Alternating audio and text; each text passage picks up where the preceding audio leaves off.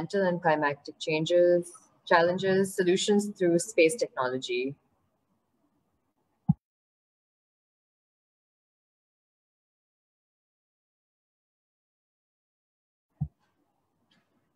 So for our first talk, The Era of CubeSats, the Technology and its Applications, we have Dr. Rehan Mahmood. Um, he received his Bachelor of Engineering degree from electrical in electrical engineering from UET Taxila in 2002 and Masters of Engineering in 2006 in Satellite Engineering from University of Surrey, UK. He also did his PhD from China and he joined the Institute of Space Technology in 2002 and has more than 15 years of teaching and research experience. He is the principal in Small Satellite Technology and Research Lab, an affiliated lab of the National Center of GIS and Space Applications. He is also the project director of iCubeN, a 3U national CubeSat.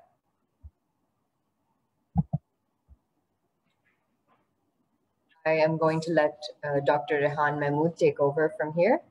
Dr. Rehan? Thank you. Uh, I'm here. All right. Whenever you're ready. Okay, I'm ready. I'm trying to share my screen. Okay, perfect.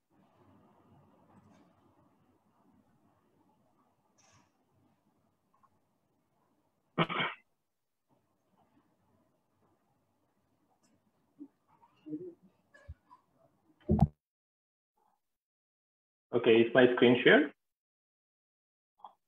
Uh, yes, sir. Okay, thank you very much, uh, Ishal, for your uh, kind introduction. Of course, you're welcome.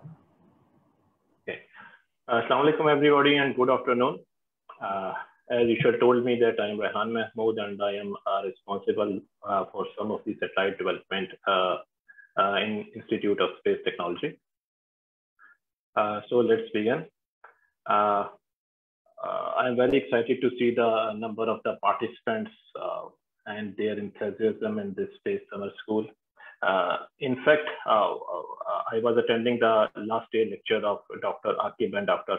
Farooq, and I am I was surprised that there were some very good questions uh, by the participants and students about the wonderful talks of Dr. Akib and Dr. Farooq. And before I begin, uh, I think uh, uh, Uh, the efforts of NCGSA team and Dr. Najam uh, for arranging such a good uh, space-related activity in these COVID days are really appreciable.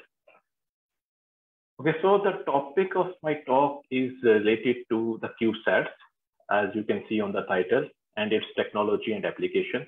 And I will briefly build up my presentation and talk and will tell you about CubeSats and uh, some of its technology, the applications, and a lot of other stuff. Uh, and hopefully uh, you will find it uh, very uh, interesting. So let's begin. Okay, here is the scope of my talk and presentation. Uh, basically, this talk is limited to the overview of basic build-up of satellites and CubeSats. The CubeSats are in fact very small uh, satellites, and uh, I will explain the concept of CubeSats and these satellites uh, later. Uh, basic physics, physics is enough to participate in this talk, and I encourage all the students and the participants to ask questions using the chat box as mentioned in the guidelines or whatever the protocol is defined by the organizer. I will try to answer uh, these questions during my presentation as well. And I hope that after listening this talk, most of the students and participants uh, will have some know-how about the CubeSats and also about uh, uh, that how to participate uh, in an educational satellite project in Pakistan. So this is the expected outcome. And I hope that uh, you will find some ways that uh, there are some good technical work related to the CubeSats and satellites are going within Pakistan. And fortunately, you can be a part of that work.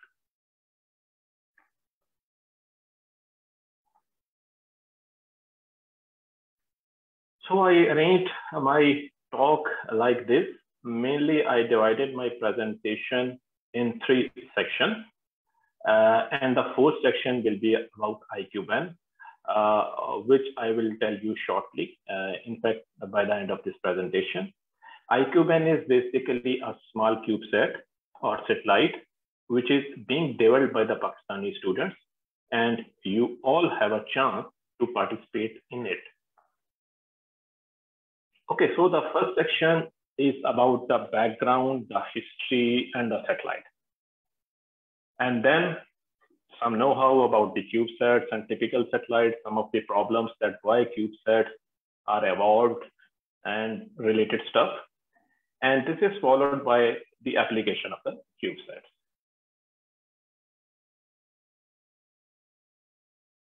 Okay, so in my opinion, uh, whenever uh, we are talking about space and the satellites, uh, the fundamental question is about uh, why to access space. Um, several years ago or 100 years ago, people are living okay without accessing space. So what's special about it? In my opinion, there may be several answers to this question.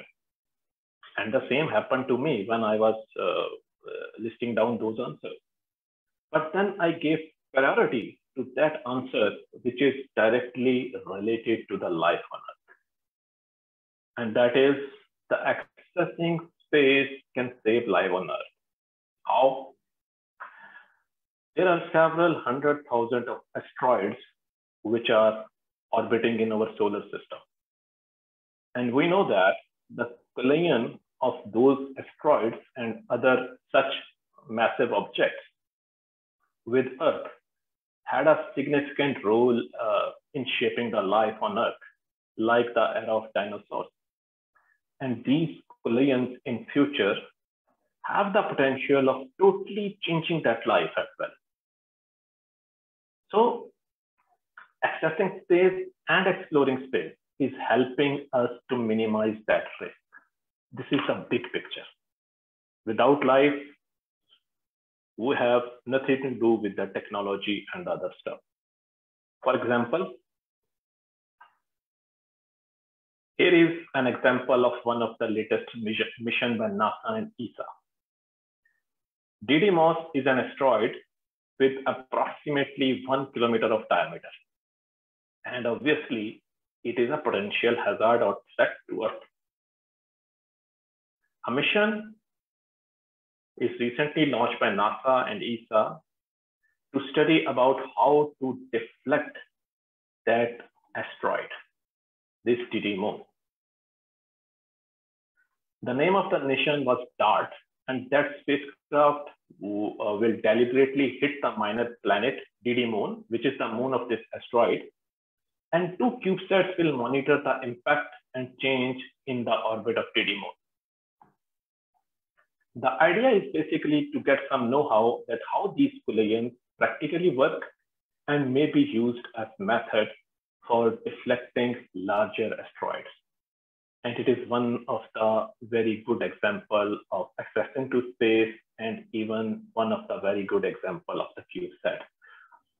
I will explain this mission a little bit later. In the same way, exploring space can help uh, in medical advancement in several ways. Because in space, we can encounter those radiation uh, which, are, which are not available on Earth.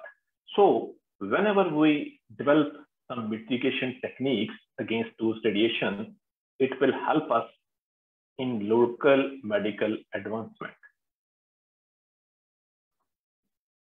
And obviously, then there are several other reasons of accessing space.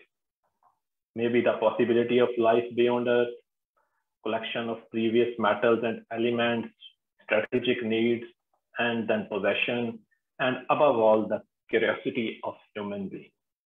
So we have several reasons of accessing space.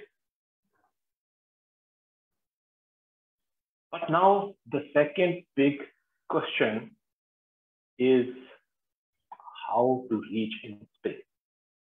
I know most of you know about this, but just for the sake of completion, the majority of this answer was provided by the Newton. That if we reach to space from the surface of the Earth, then we need to overcome the gravitational pull of the Earth. And for that, we need a very large force or thrust. And then technology comes in and they provided us with the rockets. We have these vehicles which we call rocket. This technology provided us the large force which is required to move away from the surface of the earth. But unfortunately, building rockets is not that simple. It requires some sort of advanced technology, and not only the technology, but some handsome amount of resources. And that's why every country has no direct access to space. This is one of the reason and bottleneck in the advancement of space technology, in my opinion. So the access to space and the vehicle which is required to access space is relatively expensive and it requires resources.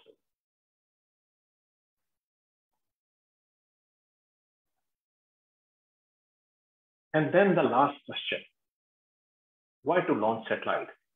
It's okay to go into space for the betterment of life on Earth, and we have the vehicle to go there. But why to launch a satellite?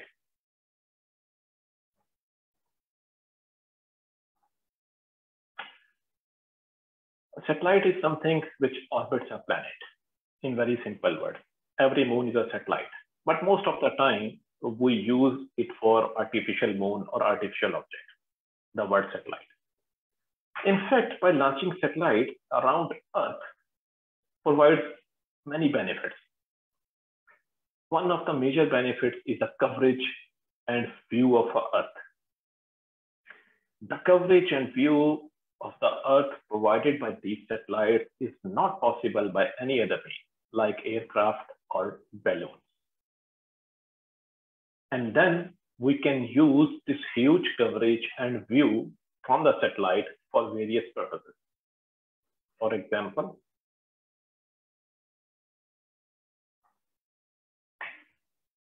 GPS satellites for navigation. We have launched satellites because these GPS satellites can provide global coverage. Not only the single satellite, but multiple satellites can provide global coverage. Weather, weather is not a local phenomenon.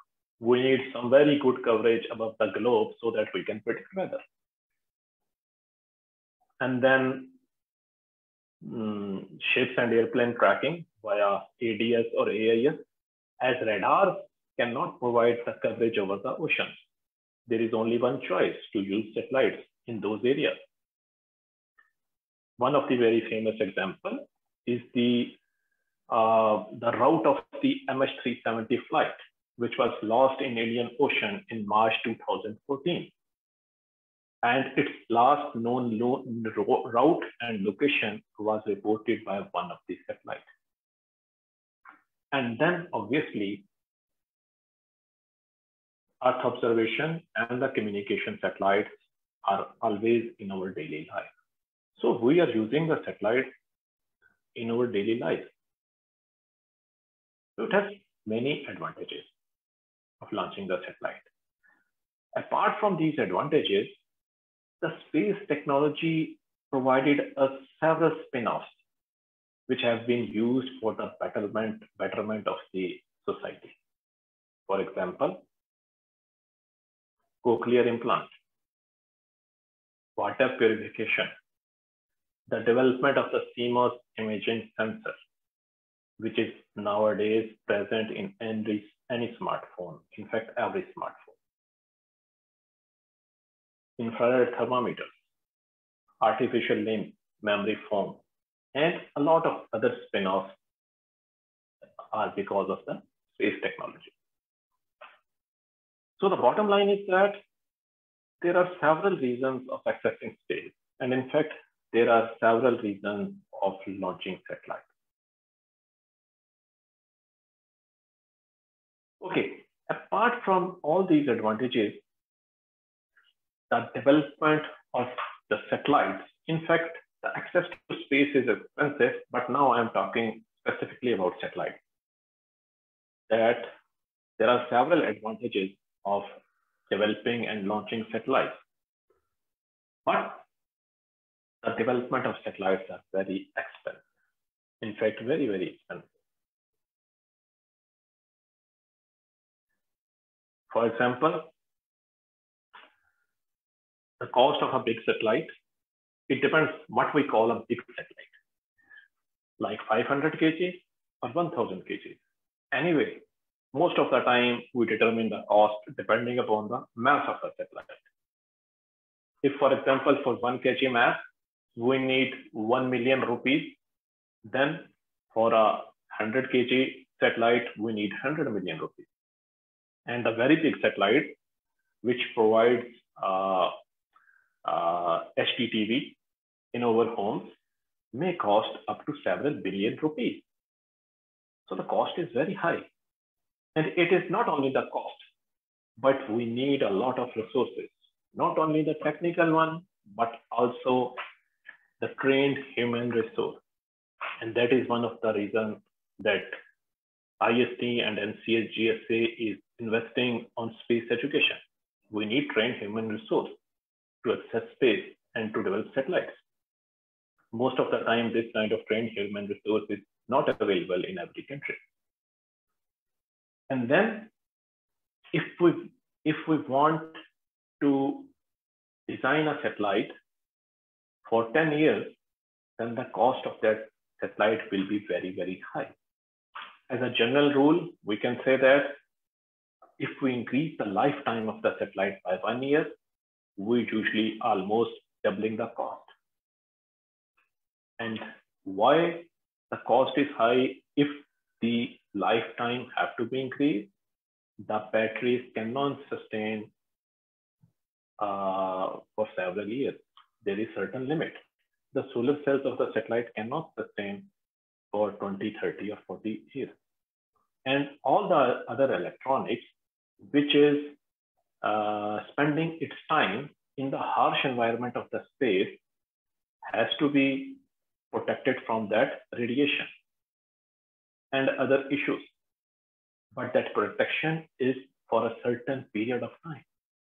This all add up to the cost of the satellite. And finally, once we have the satellite, we have to launch that. But the launching process is also expensive.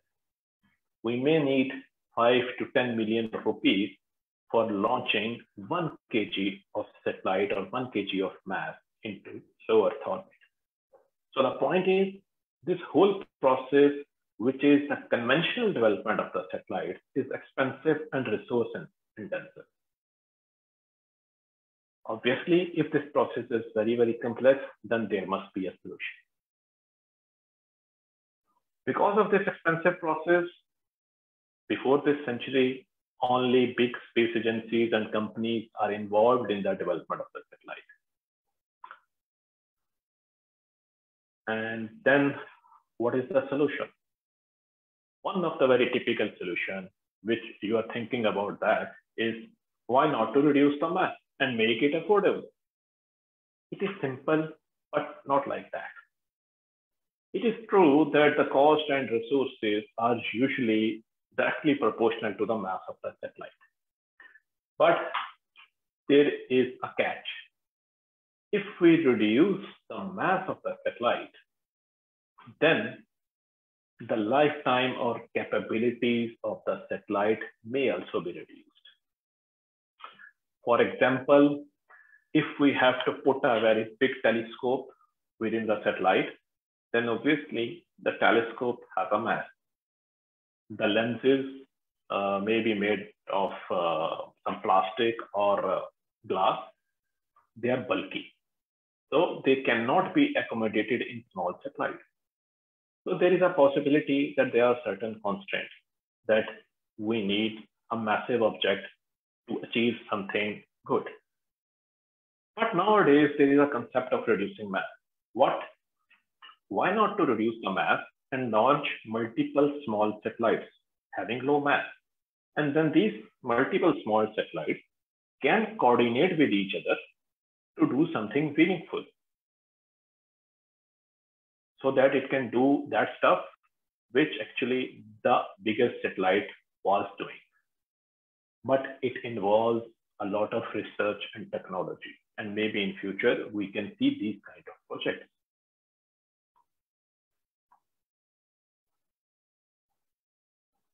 Okay, so uh, one of such solutions was initially proposed by California Polytechnic University and Stanford University, but as an educational project. The professors there thought that since the development of the satellite is very complex, expensive, and resource intensive, how to involve the students in this project so that we can have trained human resource. Then they thought about smaller satellites just for the education purpose. They call that satellite CubeSat. And why CubeSat? Because the volume of the satellite or the form factor is of a cuboid. Initially, it was just a 10 centimeter cuboid, and they call it 1U or 1 unit. Very, very small. So they thought, why not to develop this satellite, involve students in the development of their satellite, and do all the stuff which usually engineers do on the bigger satellite, and then launch it. The human resource generated in this way can now be employed or can be used for the development of other satellite projects.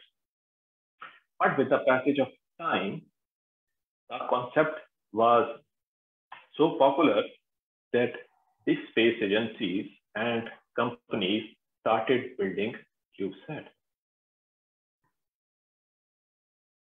Apart from one unit CubeSat, later up to 24 unit of tube sets uh, are also specified because in 1 kg of mass or 1.33 kg of mass with a volume of uh, this uh, 10 centimeter cuboid, it is very difficult to put some science instrument or some other commercial stuff.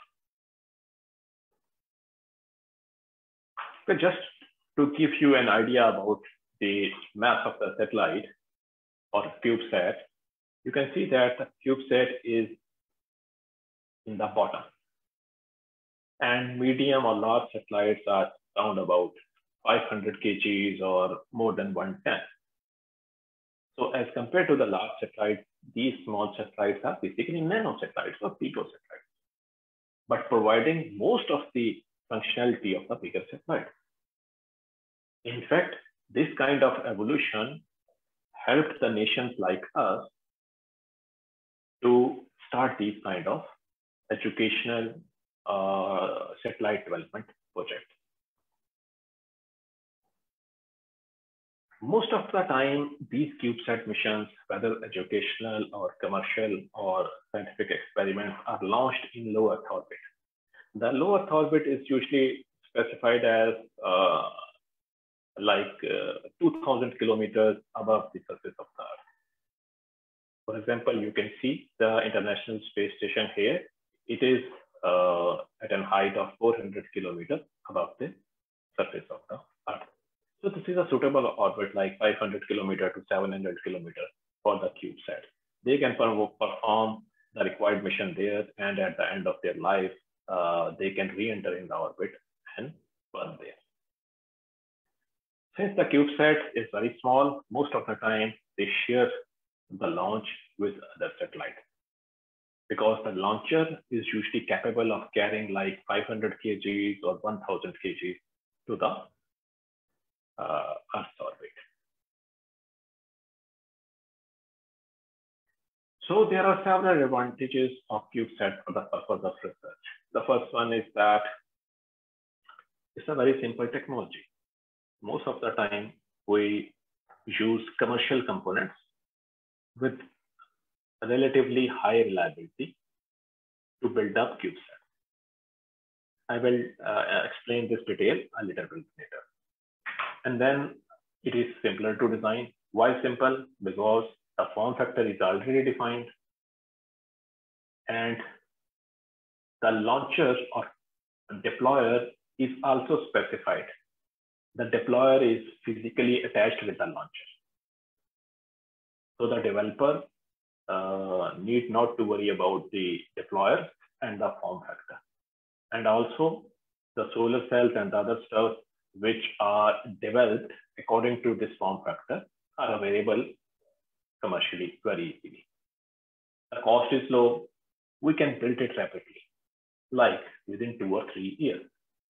And the advantage is the proof of concept. If somebody want to demonstrate a technology within a year or two, the company can build up a CubeSat and can test the technology there. And also there is no space debris because by law, uh, the CubeSats uh, have to be uh, deorbit after their lifetime.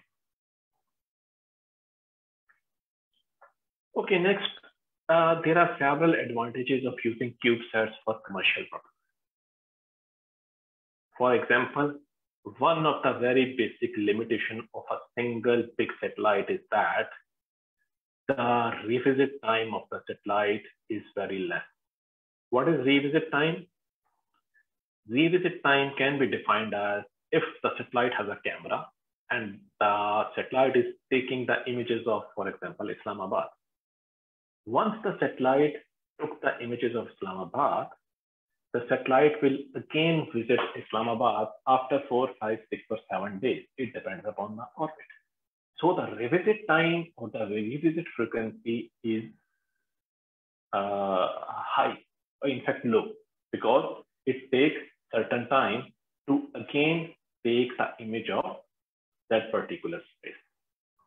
But if we launch several CubeSats with the capability of taking the Earth images instead of single large satellite, the overall revisit time will improve. And this is very important, for example, in case of some uh, uh, natural disaster, because we want to we want to take the info of that disaster uh, as early as possible and several times a day, for example. In the same way, the coverage can be increased. The CubeSats provides more coverage. Uh, they are more scalable. Initially, a company or an educational institute can launch a single satellite, and later on, further satellites can be teamed up with the initially launched satellite. So there are several advantages.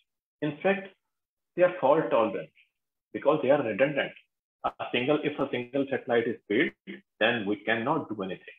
But if we have multiple of satellites and only one satellite is failed because of any reason, I think it cannot going to affect the mission that much as in the case of a single satellite. So CubeSats, developing CubeSats have several advantages. Okay, then uh, there are a lot of different subsystems are used in the development of CubeSat. In fact, most of the subsystems are typical, which are used in any satellite. And all these subsystems are found in larger satellites. But because of this less mass and less scale, it is possible for the educational institutes and research institutes and also possible for the students to practically develop these subsystems. For example, these small antennas. Onboard computer. It is a sort of microcontroller with some extra SSDs so that this onboard computer can perform the required mission in space. The structure, the power supply. The power supply is similar to the power supply or the switching power supply, which we usually use in our daily lives uh, for the charging of the cell phones or laptops. So it is possible to develop these satellites and CubeSat uh, with, uh, with sort of little support, funding, and with less facility.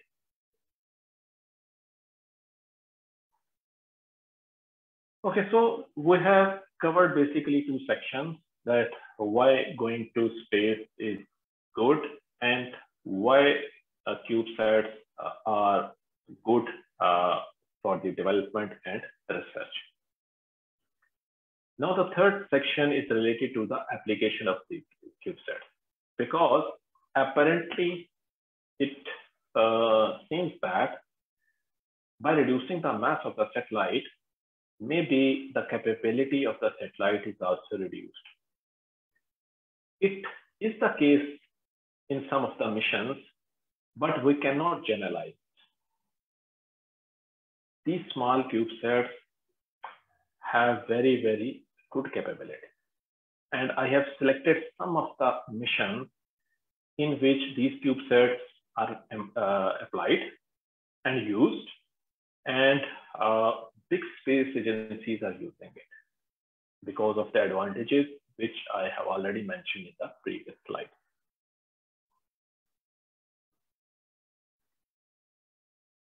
Okay, so the application of the CubeSats can be divided into several categories, but uh, I categorized into four major categories. One of the categories technology demonstration. For example, some company or some space agency have developed some new technology and they want to demonstrate it so that they can find some suitable buyer for that. So CubeSat is the best platform to have some sort of uh, practical demonstration of that technology. With low cost and rapid development, they can uh, demonstrate their technology very well. And then scientific research, obviously related to the research institutes, educational projects, which are developed just for the sake of know-how about the satellite development, and then obviously commercial. So the CubeSat applications are divided uh, in all these categories and fields. So next I'm going to share with you some of the latest space-related applications and missions using CubeSat.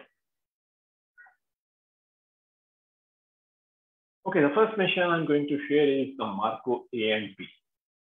In fact, as it is evident from the name, uh, this CubeSat is uh, designed for the Mars or travel towards the Mars.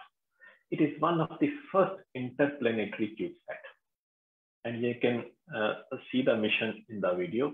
The basic mission is that there is a lander which is designed by NASA uh, to land on the Mars. It uh, is a stationary lander. It means it's not a rover. It's just uh, land on the surface of the Mars and will sit there. But it is carrying two CubeSats with it. Once near the Mars, these two CubeSats will be deployed from the InSight lander. And then once the lander is on the surface of the Mars, the flyby of these two CubeSats will relay the communication information from the lander to these CubeSats towards the Earth. So they will just fly by above the Mars and communicate with the InSight lander and will relay back that information or data towards the Earth. The problem basically is that whenever some uh, lander or rover is uh, on Mars, it is usually very difficult to communicate with the Earth. One of the problem is the uh, propagation delay. Sometimes it may took up to it may take up to 30 minutes for the signal to arrive from Mars to the Earth. But it also depends upon the location of the lander or rover. If the lander or rover is on the other side of the Mars, which is not facing Earth, then it is not possible to communicate. So these kind of orbiters are required to relay the information from the orbiter, uh, from the lander or the rover back to the Earth. So the NASA demonstrated that even these small CubeSats have the capability of relaying this much of information and with low cost.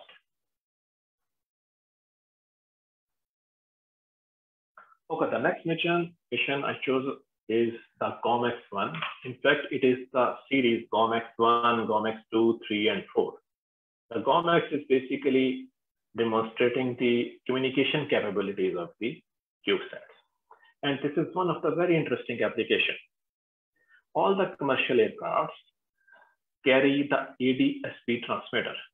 In fact, in this ADSB transmitter, they broadcast the data about their position and health, every commercial aircraft. But the problem is that in ocean, in fact, in big oceans, it is not possible to pick up those signals because there is no, uh, there is no land nearby.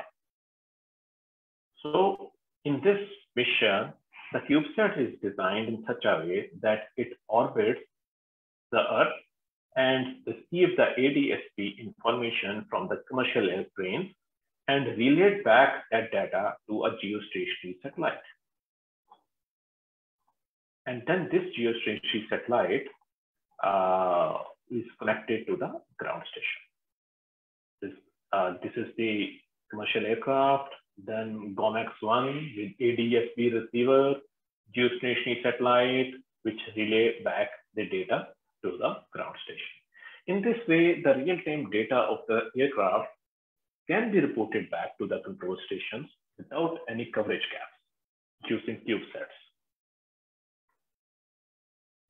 So this is one of the very interesting application and uh, I believe that uh, in the coming years, we can see several satellites with this kind of receiver because it is very feasible to collect the location and other sensor data of the aircraft like this with low cost. Okay, the next mission is yeah, SIMBA. The SIMBA mission is uh, about the study of the Earth climate and radiation. In fact, it is designed to monitor the radiation of the sun as well as the radiation emitted by the earth. So it will study both the radiation emitted by sun and emitted by the earth. In fact, it will launch to space, then will go or travel towards sun and then back again to the earth. And it is designed to calculate the overall planet's energy budget so that we can predict the uh, future climate change and the other stuff which is uh, related to uh, the overall uh, climate of Earth. SIMBA was a 3U CubeSat and then QARMAN mission. It is also a 3U CubeSat. And the objective of this mission is to demonstrate the re-entry technology. First, let me explain the re-entry. Once anything goes beyond the upper atmosphere in the orbit, then, okay, it's easy, we can go there. But if we have to re-enter the Earth, we need the same energy to re-enter Earth because the velocity of the object which is trying to re-enter in the Earth, Earth's atmosphere is very, very high. We need to break that thing. Even then, because of the friction with the Earth's atmosphere, it is likely that the entering object may be burned up or it has to face very high temperature. And this is the case with the smaller asteroids. Whenever they try to enter or hit the Earth's atmosphere, they usually get burned up. Mission, they try to use some new material which can sustain that much of heat. And if uh, it is able to sustain that much of temperature, then this kind of material may be in future available at low cost and it will help in the rapid development of the CubeSats and the spacecraft. In fact, this kind of stuff is very, very expensive. Uh, if you have some idea about the space shuttle, the tiles, which are the ceramic tiles, which are fitted beyond the space shuttle, STS, Space Transport Shuttle, they are very, very expensive. And after every re-entry of the space shuttle, like 30 or 40% of the tile uh, need to be replaced. And it is a very expensive process. And this is one of the things which uh, led the NASA to retire the Space Transport Shuttle and look for some of the alternative arrangements of re-entry. Okay, another mission, another application of the CubeSat is this PRETTY project. It is a 3U CubeSat and it is designed uh, on the basis or for passive reflectometry. The passive reflectometry basically collects those signals which are transmitted by the global navigation satellite, like GPS. These satellites are transmitting signals uh, towards the Earth, but whenever they strike the Earth, they reflect it back into the space. Obviously, the intensity is very, very low. But it is possible to design certain instruments or such low noise receivers which can collect the data and then find out the height of the surface from where these radiations are reflected from.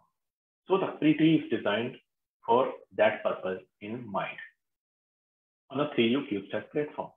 For example, if uh, some institute in Pakistan is developing a 3U CubeSat, they can put this kind of instrument there as well.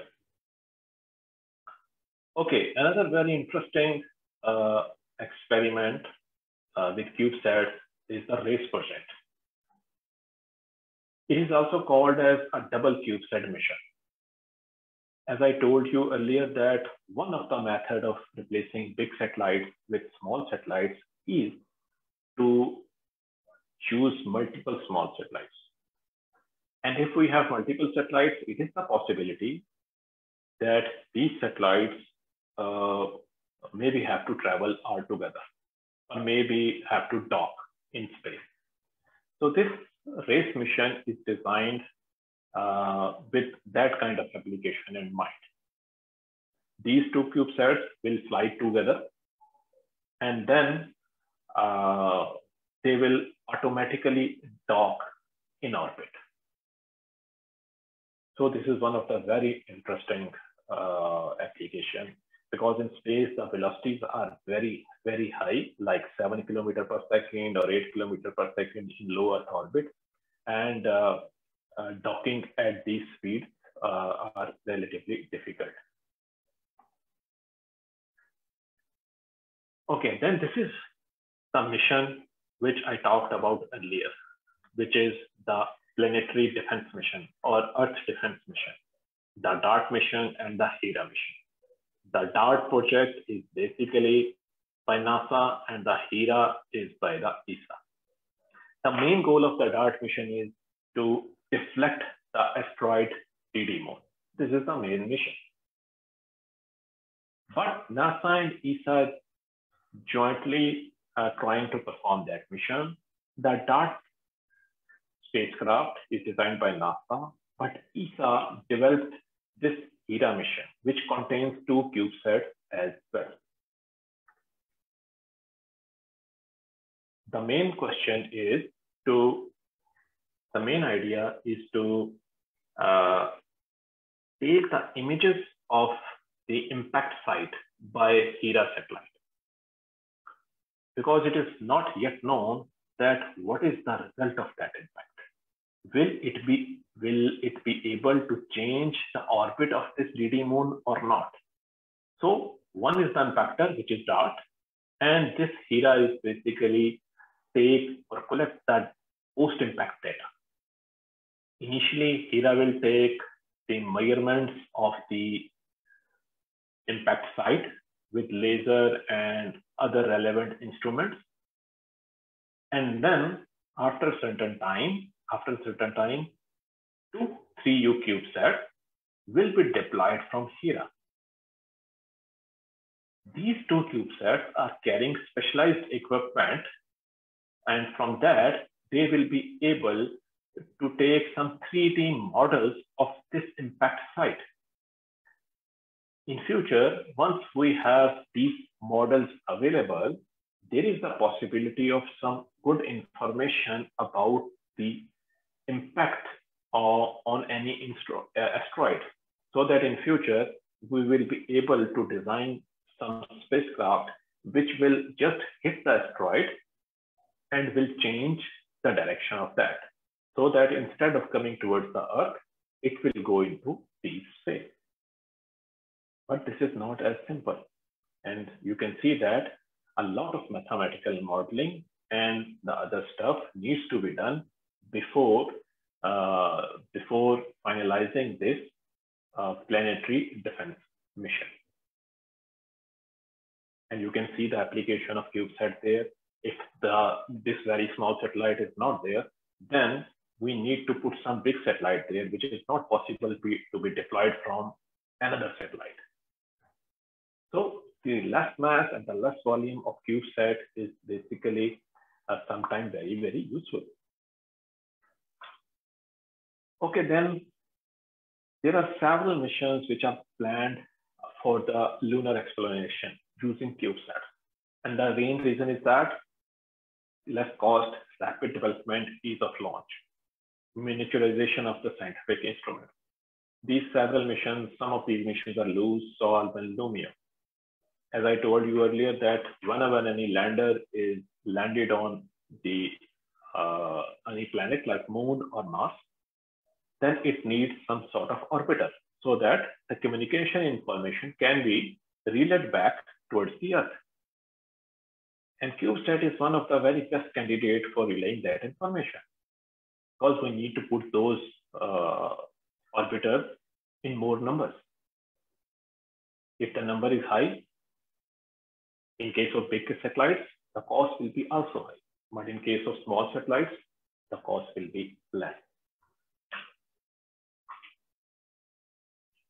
Okay, then uh, from the uh, weather prediction or climate kind of stuff, the RainCube is there. It is called as the radar in the CubeSat. It's a 6U CubeSat and it is developed by NASA. It is a technology demonstration satellite and also it is performing this science experiment to collect the data about the snowfall and the rain. And it is likely that in future, these kind of uh, satellites uh, with CubeSat uh, will replace the big weather forecasting satellite. Okay, then uh, QB50, it is a constellation of 50 CubeSats, international network of double or triple, I mean 2U or 3U CubeSats. And uh, several different universities and countries are uh, developing these uh, CubeSats.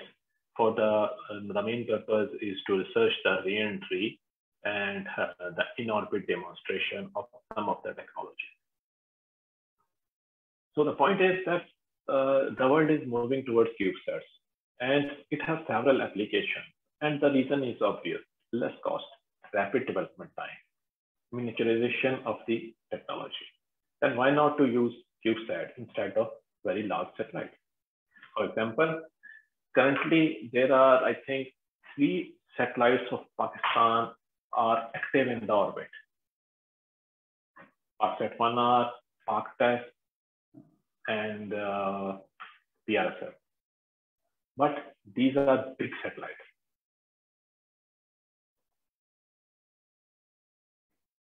Here is a very small comparison that uh, which is about the launching of Nano satellite and CubeSat. And you can see that with the uh, evolution of CubeSat specification, the launches of these small satellites increased almost exponentially. For example, in 2020, the running number of CubeSat units is round about 1200 or 1300. which is quite a big number. And then, if you can see there, we can see the use of CubeSat launched till date. One unit of CubeSat it has, is a 10 centimeter cuboid, but we can join two cuboids together to make it 2U and three to make it 3U. So 3U is three times bigger in volume as compared to 1U.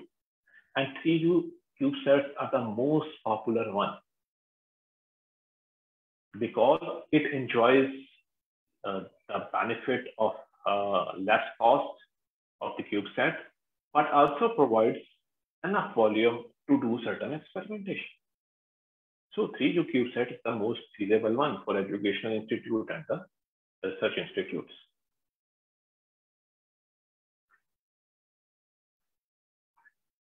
Okay. Next, you can see the business which is revolving around CubeSat and these small satellites. Number of the companies founded and on the horizontal axis, you can see the year. After the evolution of CubeSat standard in around 2000, you can see an exponential rise in the foundation of companies. A lot of companies related to the space business are founded. Which is an indicator that a lot of business is revolving around CubeSat and a lot of commercial products and off-the-shelf products are now available which are related to the CubeSat. And in the same way, you can see a lot of educational institutes like universities and schools have launched the CubeSats till date. And next, I think I have some data related to, yes, you can see here. You can see in this world map that how many CubeSats and nano satellites are launched by every country. And here is Pakistan. And there is written number one. At least we have one CubeSat which was launched by one of the institute in Pakistan. And that institute is the Institute of Space Technology. That CubeSat was named as iCube-1. It was a 1U CubeSat, and it is the first and only CubeSat of Pakistan. It was launched in 2013. The main mission was educational research and technology demonstration. Several students and faculty members uh, worked on it and uh, they developed it. Some of the components were bought off the shelf, but the majority of the work related to integration, testing, and launching was carried out in IST. It was launched on 21st November 2013, and it was success successfully contacted uh, by uh, on the same day by some of the amateur living in the UK. Okay, then uh, Institute of Space Technology also worked on this satellite, Triple S2A. It is a 3U CubeSat. In fact, this project is from APSCO. APSCO is an organization of Asia Pacific countries. The main idea is to develop three satellites which will travel in constellation. One is the bigger satellite, which is in the center, and then two CubeSats. And uh, this triple S2A is the CubeSat uh, for which the IST team is worked on. We worked on the attitude, communication, and power system of the triple S2A CubeSat. And hopefully these three satellites will be launched by the end of this year. But on this satellite, we just participated. Okay, next, iCube-N iCube-N is the satellite which is currently under development in Pakistan. In fact, in Institute of Space Technology. And uh, the NCGSA team and SSTRL team are developing this satellite in collaboration with various universities of Pakistan. In fact, the students all over the Pakistan can participate in it. What kind of participation? Uh, as I told you earlier, that the CubeSat contains a typical system. And by system, we mean a system which provides power. If the power is there, it might be solar. So solar system is there. And uh, the students with some know-how of the solar system can participate in it. And next comes, for example, the batteries. The batteries are the typical ones, rechargeable batteries, like lithium ion batteries, for example. Most of the students, I, I think, uh, from higher grades, uh, have idea about how to charge or recharge battery. So one of the possibility to engage yourself or some of the student in power system. Then communication, how to communicate with the satellite. Usually satellites and like iCubeN will have a communication system to communicate with the Earth or with you. So we need to develop antenna and transmitters. And students all over the Pakistan uh, can join us and can contribute to this satellite because we want Pakistani students to have a chance to work on this kind of space related projects. Then comes the camera, for example, which is, can be designed to take the images of the Earth, some sort of tracking software that how to track the satellite, mission control, the education, uh, which is related to the space and satellite development.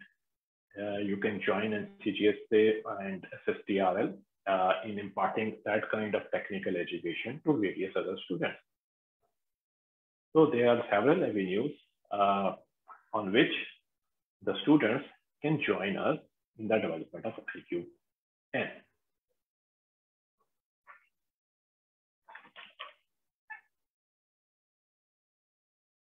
Okay, that's all from my side. If you have any questions, please uh, let me know as per the protocol uh, defined by the organizer.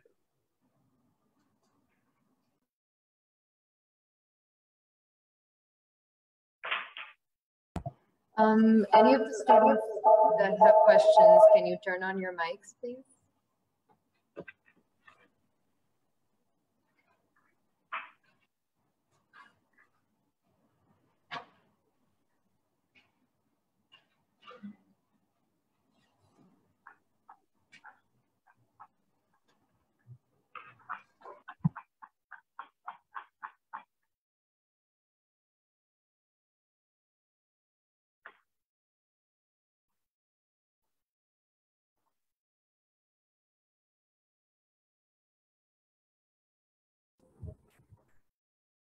Assalamu alaikum.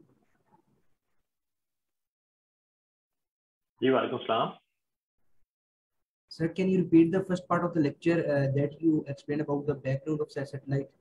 Can please explain it? Explain it again. Uh, which part of the lecture? Sir, the background of satellite and the it's working. Okay. First part. I, I will briefly explain that once again. Uh, basically, uh, uh, what usually we do that uh, okay.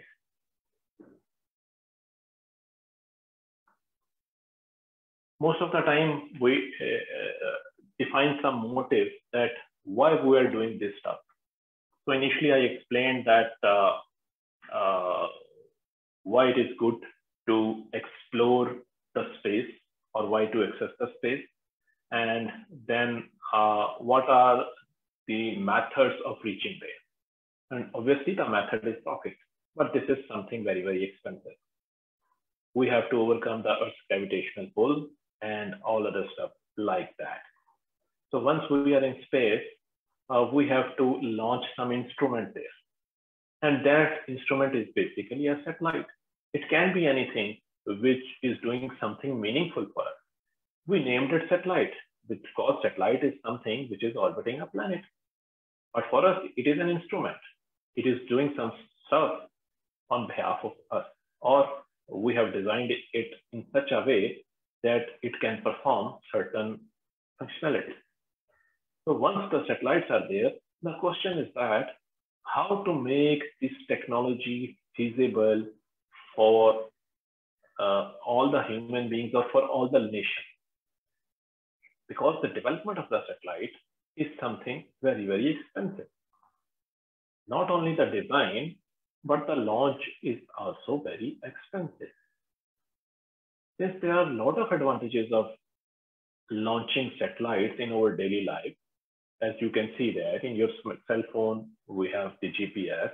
and uh, weather forecast. Everybody knows that, uh, for example, uh, uh, there is a monsoon spell this week. So how do we know that? Because of these meteorological satellites and other stuff. How to monitor glaciers and the communication. So satellite development and launching is very advantageous for us, but this process is expensive. So people designed or thought about that and they tried to reduce the launch cost or the development cost of the satellite. So they uh, came up with the idea of CubeSat.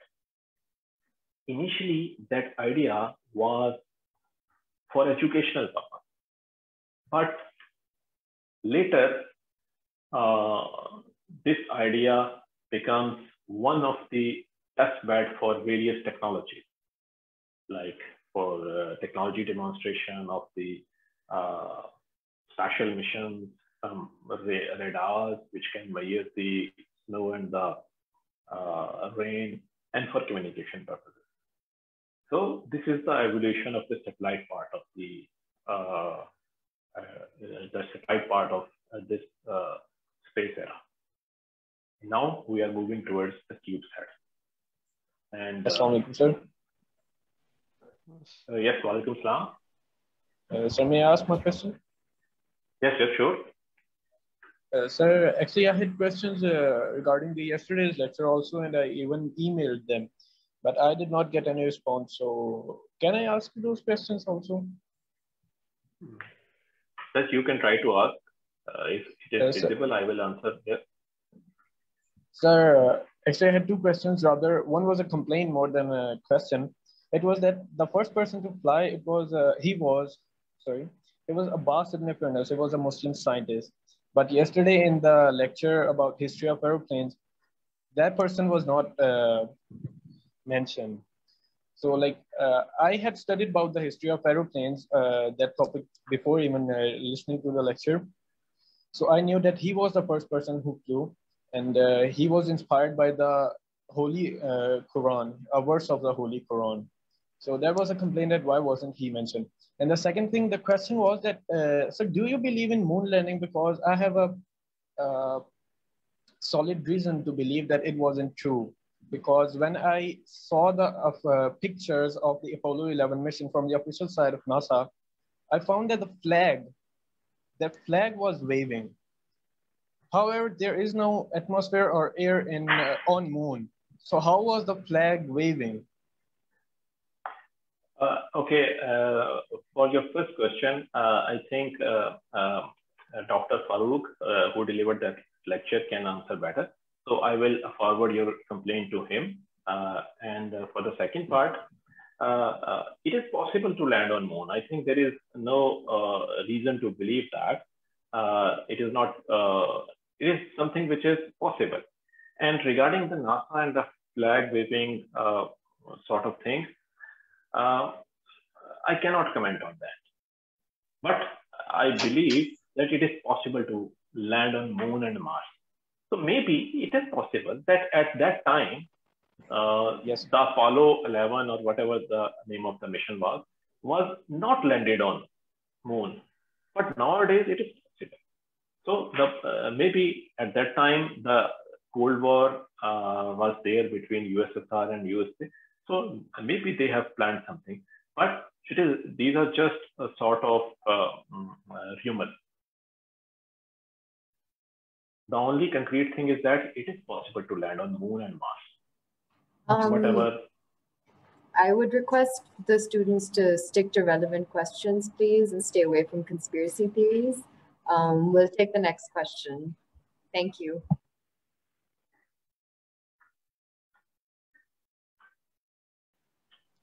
Hello, sir. Assalamu alaikum.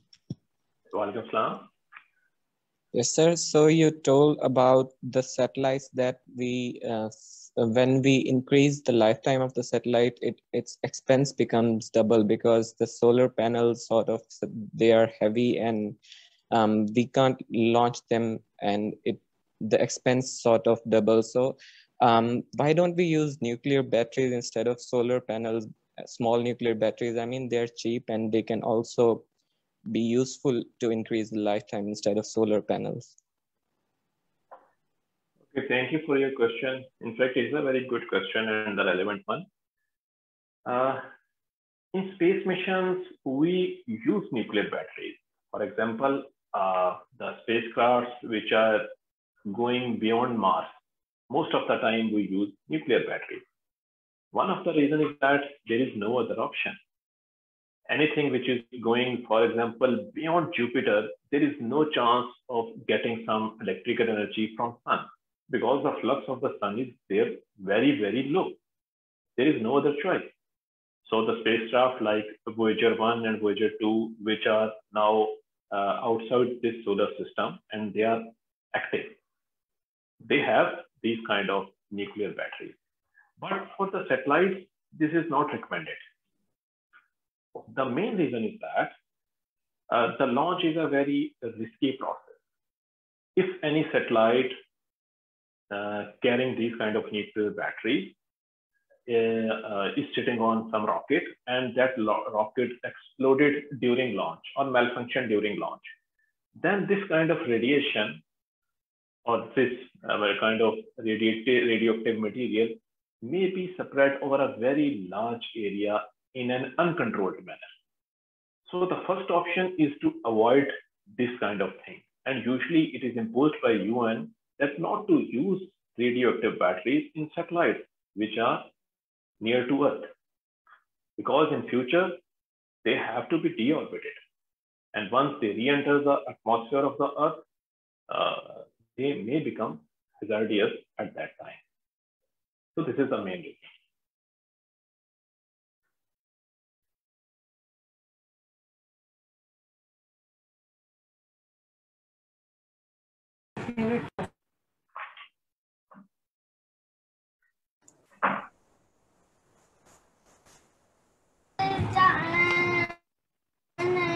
Uh, excuse me, I would like to ask a question that in the last slide you mentioned some kind of program. Uh, can we get a link or something like that so we can learn more about that? Okay. Uh, prob probably you are talking about uh, the iCube N. Okay, uh, you can uh, visit uh, this website for that, sstr.space or you can contact NCGSA or uh, Space Summer School organizers, organizers if you want to participate in it. I just repeat that this program is uh, the development, the physical development of actual CubeSat. And if any student want to participate